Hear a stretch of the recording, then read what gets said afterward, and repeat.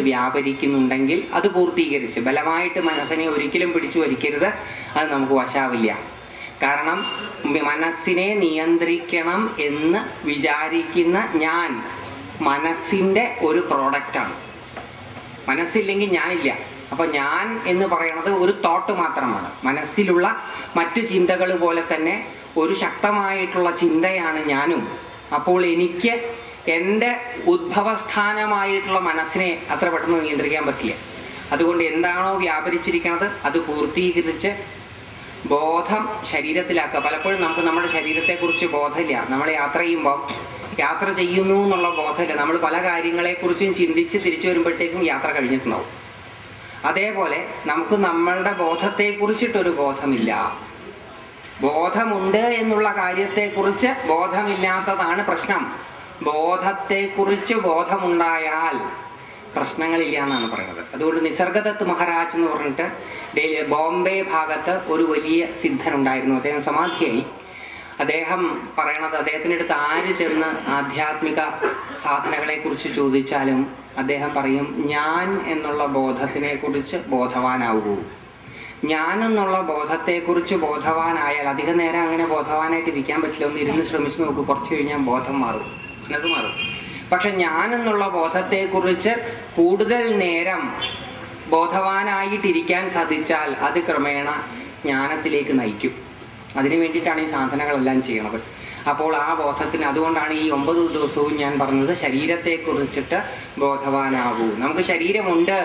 എന്ന് നമുക്ക് പലപ്പോഴും അറിയുന്നത് ശരീരത്തിന് എന്തെങ്കിലും കുഴപ്പം പറ്റുമ്പോഴാണ് കാലിലെ ചെറുവിരലിൽ ഒരു മുള്ളു കൊണ്ടാൽ മാത്രമേ ആ ചെറു ചെറുവിരലിനെ കുറിച്ച് നമ്മൾ ബോധവാനാവുള്ളൂ അല്ലെങ്കിൽ അത് ടേക്കൺ ഫോർ ഗ്രാൻഡഡ് ആണ് ഉണ്ടെന്ന് നമുക്കറിയാം.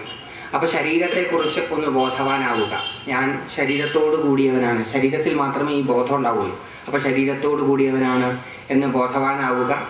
ഇന്ദ്രിയങ്ങൾ ഏതെങ്കിലും വിഷയങ്ങളുമായിട്ട് അഭിരമിക്കുന്നുണ്ടെങ്കിൽ കണ്ണെന്തെങ്കിലും കാണുന്നു കാതെന്തെങ്കിലും കേൾക്കുന്നു മൂക്കെന്തെങ്കിലും മണക്കുന്നു നാക്കെന്തെങ്കിലും രുചിക്കുന്നു തൊക്ക് എന്തിനെങ്കിലും സ്പർശിക്കുന്നുവെങ്കിൽ അത് പൂർത്തീകരിക്കുക. ഒന്നും പൂർത്തീകരിക്കാതിരിക്കരുത്. പൂർത്തീകരിച്ച ഫയലുകൾ തിരിച്ചു വരില്ല. അപൂർണമായ ഫയലുകളാണ് തിരിച്ചു വരിക. അതുകൊണ്ട് പൂർത്തീകരിച്ച് മനസ്സിനെ ശരീരവുമായിട്ട് ബന്ധിപ്പിച്ച് ബോധവാൻ ആയതിനു ശേഷം കണ്ണ് അടയ്ക്കുക. കണ്ണടച്ചു കഴിഞ്ഞാൽ അകത്തെ കണ്ണ് തുറക്കണം. ഹൃത്പത്മത്തിലുള്ള ആ നെരിപ്പോട് വെട്ടത്തെ നമ്മൾ ഇന്നലെ വെച്ചിരിക്കുന്ന ആ ചെറു പൊട്ടിനെ കൺ കാണുക. അതിനെ ശ്രദ്ധിക്കുക.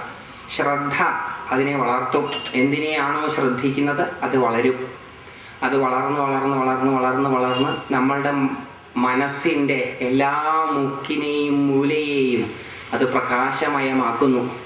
ഈ മനസ്സ് പ്രഭാപൂരിതമായി ഇരുന്നു കഴിഞ്ഞാൽ ഉറക്കം വരില്ല. മനസ്സിൽ വെളിച്ചം വന്നാൽ ഉറങ്ങാൻ പറ്റില്ല. അപ്പോൾ ആ മനസ്സ് മുഴുവൻ പ്രഭയായി തീർന്നു ആ പ്രഭ വികസിച്ച് വികസിച്ച് നമ്മളുടെ ശരീരത്തിലെ ഓരോ രോമകൂപാതിയിൽ നിന്നും ഓരോ രോമ രോമകൂപങ്ങളിൽ നിന്നും അത് പുറത്തോട്ട് പോവുകയാണ്. നമ്മൾ അങ്ങനെ ഒരു മാസ് ഓഫ് ബ്രില്യൻ ലൈറ്റ് ആണ്. പ്രഭ ചൊരിയുന്ന ഒരു വലിയ പ്രകാശഗോളം. ഇപ്പം നമ്മൾ അനവധി പ്രകാശഗോളങ്ങളുടെ ഇടയ്ക്കാണ് ഇരിക്കുന്നത് ഈ പ്രഭാഗോളങ്ങളെല്ലാം ഒന്നൊന്നായി ചേർന്ന് ചേർന്ന് ചേർന്ന് ഒരു വലിയ പ്രഭാഗോളമായി തീർന്നു. ആ വലിയ പ്രഭാഗോളം ദേവിയിൽ നിന്ന് പൊട്ടിപ്പുറപ്പെട്ടു വരുന്ന പ്രഭയിൽ അലിഞ്ഞു ചേർന്ന് നമ്മൾ ദേവിയുടെ ചുവന്ന പ്രഭയ്ക്കകത്ത് ഉൾപ്പെട്ട് അലിഞ്ഞ് ചേർന്ന് നമ്മളില്ല ദേവിയുടെ പ്രഭ മാത്രമേ ഉള്ളൂ. അങ്ങനെ ദേവിയുടെ പ്രഭയായി തീർന്നുകൊണ്ട് ബാക്കിയുള്ള നാമങ്ങൾ ശ്രവിക്കുവാനായി കണ്ണു തുറക്കുക. ഇന്നലെ നമ്മൾ നിർത്തി. ഇനി നമുക്ക് എല്ലാ നാമങ്ങളിലൂടെയും പോകാൻ സമയം ഇല്ല.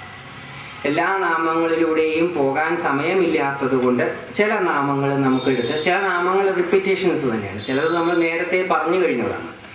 മഹാസിദ്ധി എന്നുള്ളതൊക്കെ നമ്മൾ നേരത്തെ പറഞ്ഞു കഴിഞ്ഞതാണ്. മഹാശക്തി എന്നുള്ളതൊക്കെ. മഹാഭോഗ മഹാ മഹൈശ്വരി. അതൊക്കെ ആ ദേവിയുടെ മഹത്തായിട്ടുള്ളത് എന്ന് പറഞ്ഞ് പറഞ്ഞ് പറഞ്ഞ് മഹാസിദ്ധി എന്നൊക്കെ പറഞ്ഞിട്ട് മഹായോഗീശ്വരേശ്വരി എന്ന നാമത്തിൽ എത്തുകയാണ് യോഗീശ്വരന്മാരുടെയും ഈശ്വരി. യോഗ- യോഗീശ്വരന്റെ യോഗീശ്വരൻ യോഗികളിൽ നിഷ്ണാതനായവൻ യോഗവിദ്യയിൽ നിഷ്ണാതനായവന്റെയും കൂടി ഈശ്വരി. അങ്ങനെ പറഞ്ഞതിനൊരു പ്രത്യേകതയുണ്ട്. യോഗശാസ്ത്ര പ്രകാരം സാധന ചെയ്യുന്ന ആൾക്കാര് ദേവതോപാസനയിൽ മുഴുകാറില്ല. യോഗ സമ്പ്രദായ പ്രകാരം സൂക്ഷിക്കേണ്ടുന്ന രണ്ട് കാര്യങ്ങളാണ് ലോകത്തുള്ളത്. ഒന്ന് ദേവതകളും പിന്നെ ഒന്ന് അഹംബോധവും അഹങ്കാരവും. അഹങ്കാരത്തെയും ദേവതകളെയും സൂക്ഷിക്കണം എന്ന് പതഞ്ജലി മഹർഷി ആവശ്യപ്പെട്ടിട്ടുണ്ട്. കാരണം ഇത് രണ്ടും പ്രപഞ്ചത്തെ നിലനിർത്തുന്നതാണ്. ദേവതകളുടെ ഡ്യൂട്ടി ഈ പ്രപഞ്ചത്തെ കാത്തു സംരക്ഷിക്കുക എന്നുള്ളതാണ്. അപ്പോൾ ഈ പ്രപഞ്ചം പ്രപഞ്ചമായിട്ട് നിൽക്കുന്നതിന് ചുമതലപ്പെട്ടവരെ ആരാധിച്ചാൽ അവർ നമ്മളെ ഈ പ്രപഞ്ചത്തിൽ നിന്ന് പുറത്തേക്ക് പോകാൻ അനുവദിക്കില്ല. തുറങ്കലിൽ അടയ്ക്കപ്പെട്ട നമ്മൾക്ക് പുറത്തു പോകാതിരിക്കാൻ കാവൽ നിൽക്കുന്ന രണ്ട് പാതാവുകാരുണ്ടാവും പ്രിസണിനകത്ത് ആ പ്രിസണ് കാവൽ നിൽക്കുന്ന ആൾക്കാരെ ആരാധിച്ചാൽ അതിനകത്ത് കിടക്കുന്നവർക്ക് പുറത്തു പോകാൻ പറ്റില്ല. കാരണം അവരുടെ ഡ്യൂട്ടി അകത്ത് കിടക്കുന്നവൻ അകത്ത് കിടക്കണം എന്നാണ് പുറത്തു പോകാൻ അവരെ അനുവദിക്കില്ല. അപ്പോൾ പ്രപഞ്ചത്തെ പ്രപഞ്ചമായി നിലനിർത്തുന്നതിന് ചുമതലപ്പെട്ട ദേവീദേവന്മാരെ ആരാധിച്ചാൽ പ്രപഞ്ചത്തിൽ നിന്ന് രക്ഷപ്പെടാൻ സാധിക്കുകയില്ല എന്നുള്ളത് കൊണ്ട് ദേവിയും പിന്നെ ഞാൻ എന്നുള്ള ബോധമാണ് ഈ പ്രപഞ്ചത്തെ നിലനിർത്തുന്നത്. ഇത് രണ്ടും ഉണ്ടാവരുത് യോഗിക്ക് എന്ന്. അപ്പം യോഗികൾ പൊതുവെ പ്രത്യേകിച്ച് നമ്മൾ ഈ പറയുന്ന ഒരു ദേവതകളാരെയും ഉപാസിക്കാറില്ല. പക്ഷേ ദേവിയോ ത്രിപുരസുന്ദരി ആരാണ്? യോഗീശ്വരനായിട്ടുള്ള ആൾക്ക് അതായത് ഏറ്റവും വലിയ യോഗിക്ക് ഈശ്വരിയായിട്ടുള്ളവളാണ് ദേവി. അതായത് യോഗികളാൽ പോലും ആരാധിക്കപ്പെടുന്നവളാണ് ദേവി എന്നർത്ഥം. യോഗീശ്വരൻ ശരിക്കും ശിവനാണ്. അപ്പോൾ ശിവനാൽ ആരാധിക്കപ്പെടുന്നവൾ എന്നർത്ഥം. മറ്റ് ഒരു ഈശ്വരനെയും ആരാധിക്കാത്തവരാൽ പോലും ആരാധിക്കപ്പെടുന്നവൾ ദേവി. സർവ ആരാധ്യയാണ് ദേവി. അപ്പൊ യോഗീശ്വരൻ എന്ന പദം വന്നപ്പോൾ നമുക്ക് യോഗ സമ്പ്രദായത്തെ കുറിച്ച് ഒന്ന് അറിഞ്ഞാൽ നന്നായിരിക്കും. കാരണം എന്നാൽ മാത്രമേ യോഗീശ്വരൻ എന്നുള്ള പദം നമുക്ക് ശരിക്കും മനസ്സിലാവുകയുള്ളൂ. ഭാരതീയ സംസ്കാരത്തിൽ പ്രധാനപ്പെട്ട ഒരു കൈവഴിയാണ് യോഗം. പതഞ്ജലി മഹർഷിയാണ് അതിനെപ്പറ്റി ഏറ്റവും കൂടുതൽ പഠിച്ചിട്ടുള്ളത്. പതഞ്ജലി യോഗസൂത്രം. പതഞ്ജലി മഹർഷി എഴുതിയ യോഗസൂത്രത്തിന് വ്യാസപ്രണീതമായിട്ടുള്ള ഒരു വ്യാഖ്യാനവും ഉണ്ട് പലരും ഇപ്പം പുതിയ വ്യാഖ്യാനങ്ങളും വന്നിട്ടുണ്ട്. അനവധി വ്യാഖ്യാനങ്ങൾ ഉണ്ടെങ്കിലും വ്യാസഭഗവാന്റെ വ്യാഖ്യാനമാണ് ഏറ്റവും പഴയ വ്യാഖ്യാനം. ആ യോഗ സമ്പ്രദായ പ്രകാരം പതഞ്ജലി മഹർഷിയുടെ യോഗ സമ്പ്രദായ പ്രകാരം എട്ട് അംഗങ്ങളോട് കൂടിയതാണ് യോഗം. താന്ത്രികമായിട്ടുള്ള യോഗത്തിന് എട്ടംഗമില്ല ആറ് അംഗങ്ങളേ ഉള്ളൂ. ഷടംഗം മാത്രമേ ഉള്ളൂ. ഈ പതഞ്ജലി മഹർഷിയുടെ യോഗത്തിനാണ് എട്ടംഗങ്ങൾ അഷ്ടാംഗം. ആ അഷ്ടാംഗം നമുക്ക് എടുക്കാം യമം നിയമം ആസന പ്രാണായാമ പ്രത്യാഹാര ധാരണ ധ്യാന സമാധി. ഇതാണ് എട്ടംഗങ്ങൾ ഈ എട്ടംഗങ്ങൾ ആർക്കാണ് ആരാണ് ഈ എട്ടംഗങ്ങൾ അനുഷ്ഠിക്കേണ്ടത് എന്നുള്ളൊരു ചോദ്യം എപ്പോഴും ഉണ്ട്. എന്ത് ചെയ്യുമ്പോഴും ആരാണ് അത് ചെയ്യേണ്ടത് എന്ന ചോദ്യമുണ്ട്. കാരണം എല്ലാവർക്കും പറഞ്ഞിട്ടുള്ളതല്ല എല്ലാം. ചിലർക്ക് പറഞ്ഞിട്ടുള്ളതാണ്. അപ്പൊ ആരാണ്? ആരാണ് വടക്കോട്ട് പോകേണ്ട ബസ്സിൽ കയറേണ്ടത്? വടക്കോട്ട് പോകണം എന്ന് ആഗ്രഹമുള്ളവര്. തെക്കോട്ട് പോകണം എന്ന് ആഗ്രഹമുള്ളവരെല്ലാം വടക്കോട്ട് പോകുന്ന ബസ്സിൽ കയറിയാൽ ഒരിക്കലും എത്തേണ്ടിടത്ത് എത്തില്ല. അപ്പോൾ എവിടെയാണ് പോകുന്നത് എന്ന് അറിയണം എന്നാലേ പോക്ക് ശരിയാവുള്ളൂ അപ്പോൾ ഇവിടെ പറയണോ സമാധിയാണ് നിങ്ങൾ ആഗ്രഹിക്കുന്നതെങ്കിൽ ഈ യോഗത്തിന്റെ മാർഗത്തിലൂടെ പോകണം ഇപ്പൊ യോഗത്തിന്റെ മാർഗത്തിലൂടെ സമാധി ആഗ്രഹിക്കുന്ന ആര് പോണം? ശരീരത്തെ പറ്റി ബോധമുള്ളവൻ പോണം. ശരീരത്തെ പറ്റി ബോധമില്ലാത്തവർക്ക് പോകാൻ വേറെ വഴിയുണ്ടെന്ന് നമ്മൾ അടുത്ത് ചർച്ച ചെയ്യും വേദാന്തത്തിന്റെ വഴി. ശരീരത്തെ പറ്റി ചിന്തിക്കാൻ പോവുകയാണ്. അപ്പൊ ശരീരം കൊണ്ടാണ് ഈ സാധന നടത്താൻ ഉദ്ദേശിക്കുന്നത്. സമാധിയിലേക്ക് എത്തുവാൻ ശരീരം ഉപയോഗപ്പെടുത്താൻ തീരുമാനിച്ചു കഴിഞ്ഞാൽ ഈ ശരീരത്തെ ഒരിടത്തിരുത്തണം സുഖമായിട്ട് ഈ ശരീരം ഒരു സ്ഥലത്തിരിക്കണം.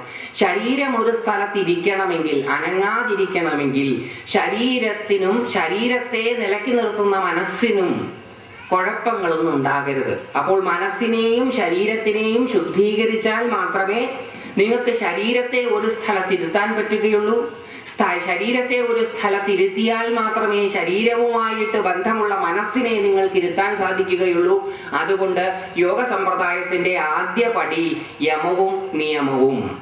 ഇന്ദ്രിയങ്ങളെയും മനസ്സിനെയും ശുദ്ധീകരിക്കുക. യമം നിയമം. ഈ യമ നിയമാദികൾ അനുഷ്ഠിച്ചു കഴിയുമ്പോൾ അതിൽ യമം എന്ന് പറയുന്നത് ആസ്തേയം സത്യം ബ്രഹ്മചര്യം അഹിംസ അങ്ങനെ തുടങ്ങിയ കാര്യങ്ങളാണ്. നിയമം എന്ന് പറയുന്നത് ശൗചം സന്തോഷം തുടങ്ങിയ കാര്യങ്ങളാണ്. അപ്പൊ സന്തോഷവാനായിരിക്കണം യോഗി. യോഗിക്ക് എപ്പോഴും സന്തോഷം ഉണ്ടാവും ദുഃഖം ഉണ്ടാവാൻ പാടില്ല എപ്പോഴും സന്തോഷം ഉണ്ടാവുന്നത് ആർക്കാ?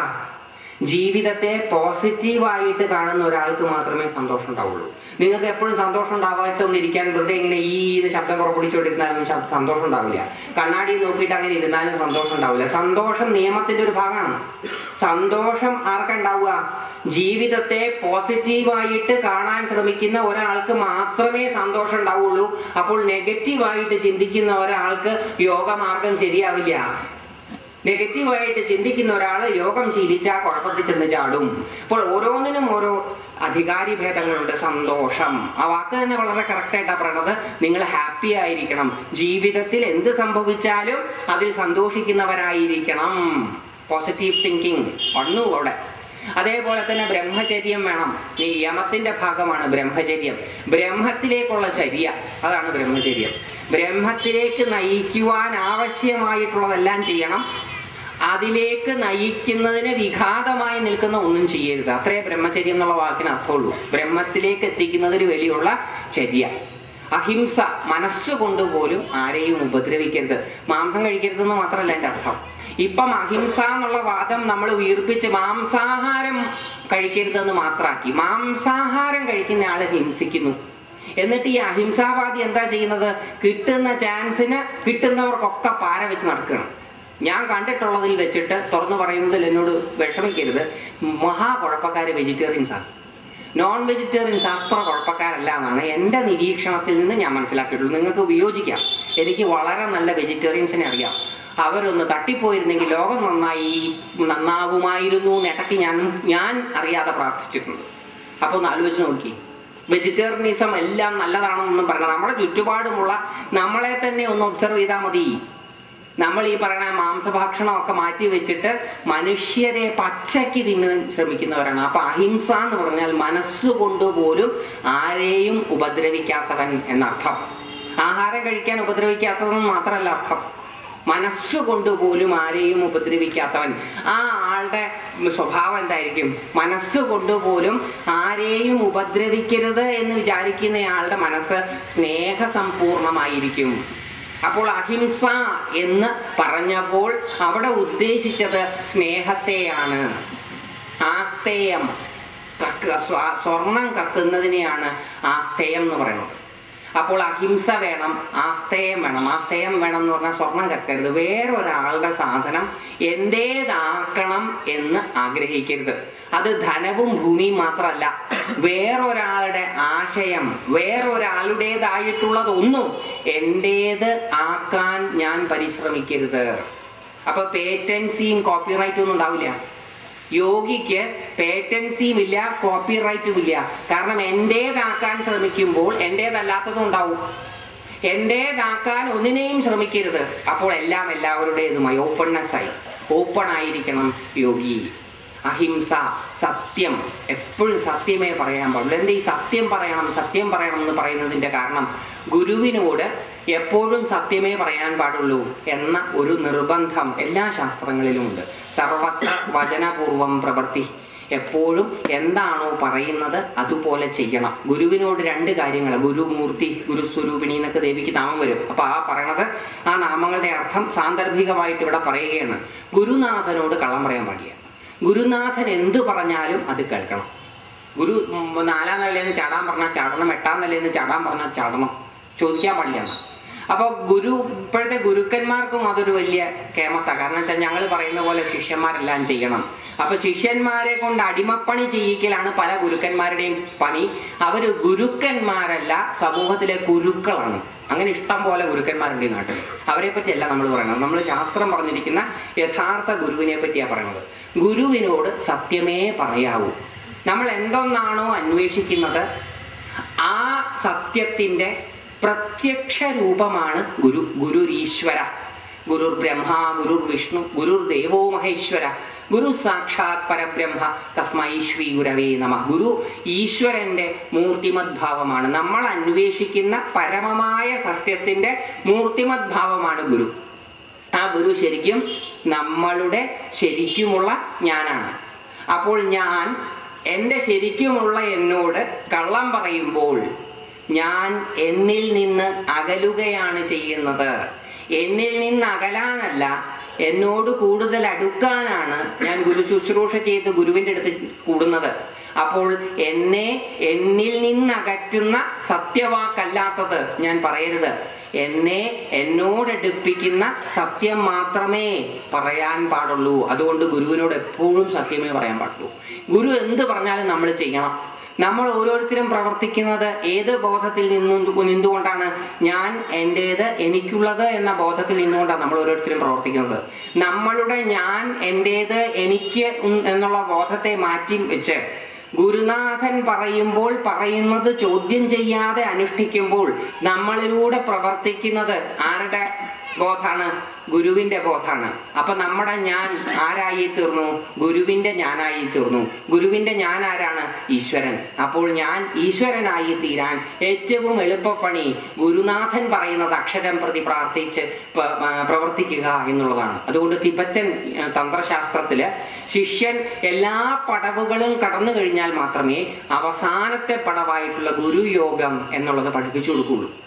ഗുരു ഗുരു യോഗം അവസാനത്തെ പടമാണ് തിബറ്റൻ തന്ത്രത്തിൽ അതായത് വജ്രയാഗത്തിൽ അപ്പൊ ഗുരുനാഥന് വളരെയധികം പ്രാധാന്യമുണ്ട്. സത്യമേ പറയാവൂ. കാരണം സത്യമേ പറയാവൂ എന്ന് പറയാൻ കാരണം സത്യം നിങ്ങളെ നിങ്ങളോട് അടുപ്പിക്കും. കള്ളത്തരം നിങ്ങളെ നിങ്ങളിൽ നിന്ന് അകറ്റും നിങ്ങളോട് അടുക്കുക എന്നുള്ളതാണ് ശരിക്കുമുള്ള സത്യം. അതുകൊണ്ട് സത്യം പറയണം ബ്രഹ്മത്തിലേക്ക് ചരിക്കണം. വേറൊരാളുടേത് തന്റെതാക്കാൻ പാടില്ല. അത് യമങ്ങൾ നിയമങ്ങളിലെ ശൗചം ശരീരം എപ്പോഴും ശുദ്ധമായിരിക്കണം. സന്തോഷം. മനസ്സും എപ്പോഴും ശുദ്ധായിരിക്കണം. മനസ്സ് ശുദ്ധായിരിക്കുന്ന ആൾക്ക് സന്തോഷിക്കാനേ പറ്റുള്ളൂ. മനസ്സ് പോസിറ്റീവ് ആയിരിക്കണം ശരീരവും പോസിറ്റീവ് ആയിരിക്കണം പിന്നെ ഈശ്വര പ്രണിധാനം ഈ പ്രപഞ്ചത്തെ മുഴുവൻ നയിക്കുന്നത് ഞാനല്ല എന്റെ ചിന്തകൾ കൊണ്ടല്ല ഈശ്വരനാണ് എന്ന് എനിക്ക് മനസ്സിലാകണം. ഈ അങ്ങനെ ചില കാര്യങ്ങൾ യമവും നിയമം വേണം. ഈ യമ നിയമങ്ങൾ നമുക്ക് നമുക്കുണ്ടാവുക? പുസ്തകം വായിച്ചിട്ടല്ല ഉണ്ടാവുക. യമനിയമങ്ങൾ ശരിക്കും ജീവിക്കുമ്പോൾ നമുക്കുണ്ടാകുന്നു ശരിക്കും ജീവിക്കുന്ന സമയത്ത് നമ്മുടെ ചുറ്റുപാടുമുള്ള ലോകത്തെ നിരീക്ഷിച്ച് നോക്കിയാൽ നമുക്ക് മനസ്സിലാകുന്ന കാര്യമാണ് നമ്മളുടെ പ്രയത്നം കൊണ്ടല്ല പലതും സംഭവിക്കുന്നത് സംഭവിക്കുകയാണ്. അപ്പോൾ ആ സംഭവിപ്പിക്കുന്നത് ആരോ? ആ ആളെയാണ് ഈശ്വരൻ എന്ന് വിളിക്കുന്നത്. അപ്പോൾ ജീവിതം മര്യാദയ്ക്ക് ജീവിച്ച് കഴിയുന്ന ഒരാൾക്ക് ഉണ്ടാകുന്ന അടുത്ത മാർഗം അടുത്ത പ്രോഗ്രസ് ആണ് ഈ ആധ്യാത്മിക ശാസ്ത്രം മുഴുവൻ. നല്ലവണ്ണം ജീവിക്കാത്ത ഒരാൾക്ക് ആധ്യാത്മികൻ ആകാൻ സാധ്യമല്ല. അപ്പോൾ നല്ലവണ്ണം ജീവിക്കുന്ന സമയത്ത് യമനിയമാദികൾ ബാഹ്യാഭ്യന്തര ശുദ്ധികൾ ഉണ്ടാവും. അങ്ങനെ ബാഹ്യാഭ്യന്തര ശുദ്ധി ഉണ്ടായി കഴിഞ്ഞാൽ ഈ ശരീരത്തെ ഒരു സ്ഥലത്തിരുത്താൻ കുഴപ്പമൊന്നുമില്ല. അപ്പോ ആസനം വന്നു സ്ഥിര സുഖം ആസനം. സ്ഥൈര്യമുള്ളതും സ്ഥിരതയുള്ളതും സുഖകരമായിട്ടുള്ളതും ആയിരിക്കണം ആസനം. എന്തിനാണ് സ്ഥിരതയുള്ളത് എന്ന് പറഞ്ഞത്? ഇളകി മറിഞ്ഞ് വീണു പോകരുത്. ഈ ശരീരത്തെ ഇരുത്തുകയാണ്. ഇരുത്തുന്ന സമയത്ത് ആ ഇരിക്കുമ്പോൾ കുറച്ചു നേരം കഴിഞ്ഞാൽ ശരീരബോധം ഇല്ലാതെയാകാൻ സാധ്യതയുണ്ട്. അങ്ങനെ ശരീരബോധം ഇല്ലാതെയായാൽ മറിഞ്ഞു വീഴരുത് ഈ സാധനം. ഇത് വളരെ പ്രധാനപ്പെട്ടതാ. ശരീരമാദ്യം ഖലു ധർമ്മസാധനം. ശരീരം ഇല്ലെങ്കിൽ ധർമ്മമൊന്നുമില്ല. അപ്പൊ ഈ ശരീരം വളരെ പ്രധാനപ്പെട്ടതാണ്. അപ്പൊ ശരീരത്തിനെ ഒരു സ്ഥലത്തിരുത്തണം അത് സ്ഥൈര്യമുള്ള സ്ഥലമായിരിക്കണം. ഉറപ്പുള്ള സ്ഥലമായിരിക്കണം. സുഖമുള്ള സ്ഥലമായിരിക്കണം. എന്തിനാ എന്തിനാ സുഖമുള്ള സ്ഥലമായിരിക്കണം എന്ന് പറഞ്ഞത്? സുഖമില്ലെങ്കിൽ നമുക്ക് ശരീരബോധം ഉണ്ടായിക്കൊണ്ടേയിരിക്കും. നമ്മൾ ഇരിക്കുന്ന സ്ഥലത്ത് ഒരു മുള്ളുണ്ടെന്ന് വിചാരിക്കുക. കാലിടയ്ക്കിടയ്ക്ക് ആ മുള്ളെ തട്ടുകയാണെങ്കിൽ ഒരു സുഖം ഉണ്ടാവില്ല. സിനിമ കാണാൻ നല്ല സിനിമയാണ്. പക്ഷെ സിനിമാ തിയേറ്ററിലെ സീറ്റിൽ മൂട്ടയാണെങ്കിൽ ആ സിനിമ സുഖമായിട്ട് ആസ്വദിക്കാൻ പറ്റുമോ പറ്റില്ല. കാരണം ഈ ശരീരം സുഖമായിട്ടിരിക്കാതെ ജീവിതത്തിൽ ഒരു സാധനവും സുഖമായിട്ട് ആസ്വദിക്കാൻ പറ്റില്ല. അപ്പോൾ ജീവിതം സുഖമായിട്ട് ആസ്വദിക്കണമെങ്കിൽ ശരീരം സുഖമായിട്ടിരുന്നേ പറ്റൂ. അതുകൊണ്ട് സ്ഥിര സുഖം ആസനം വെറുതെ വെളിപാടുള്ള കഞ്ചാവടിച്ച് വെളിപ്പെട്ട് എഴുതിയതല്ല മഹർഷീശ്വരന്മാർ ഇതൊക്കെ കാരണം അങ്ങനെ ഒരു ധാരണയുണ്ട്. തണുപ്പത്ത് ഹിമാലയത്തിൽ പണ്ട് കോണകം മാത്രമല്ലേ ഉടുത്ത് നടക്കുള്ളായിരുന്നു. അപ്പൊ ഉടുക്കാനൊന്നും ഇല്ലാത്തവരാണ് ഭാരതീയർ എന്നൊരു ധാരണ കൂട്ടും സൂട്ടും ഇട്ട് നടക്കുന്ന സായിപ്പിനുണ്ടായി. അപ്പൊ സായിപ്പ് പറഞ്ഞു ഈ തണുപ്പത്തു നിന്ന് രക്ഷപ്പെടാൻ ഇവർ കഞ്ചാവ് അടിക്കും. ആ കഞ്ചാവിന്റെ ലഹരിയിൽ പറഞ്ഞതായിരിക്കും എന്ന് സായിപ്പ് പറഞ്ഞു. അത് സായിപ്പിന് വിവരമില്ലാത്തോണ്ട് പറഞ്ഞു സായിപ്പിന്റെ വിചാരം തണുപ്പത്തൂന്ന് രക്ഷപ്പെടാൻ വേണ്ടിയിട്ട് അവിടെ മദ്യം എല്ലാവരും കഴിക്കുന്നത് പോലെ ഇവിടെയും ആൾക്കാർ എന്തെങ്കിലുമൊക്കെ ചെയ്യുന്നുണ്ടാകും. അങ്ങനെ അവർ തെറ്റിദ്ധരിച്ചതിൽ തെറ്റൊന്നുമില്ല. കാരണം അത് അവരുടെ അനുഭവം. അത് തെറ്റിദ്ധരിച്ചത് നമ്മുടെ കുഴപ്പം. നമുക്കിതൊക്കെ അറിയാമായിരുന്നിട്ട് നമ്മൾ തെറ്റിദ്ധരിച്ചതാണ് കുഴപ്പം. അപ്പം വെളി കഞ്ചാവടിച്ചിട്ടോ ഉണ്ടായിട്ടുള്ള ഹാലൂസിനേഷനിൽ നിന്നുണ്ടായതല്ല ആ ഭാരതീയ ശാസ്ത്രങ്ങൾ. നിരീക്ഷണ പരീക്ഷണങ്ങളിൽ നിന്നുണ്ടായിട്ടുള്ളതാണ്. പരീക്ഷണങ്ങളും പലതും നടത്തിയിട്ടുണ്ട്.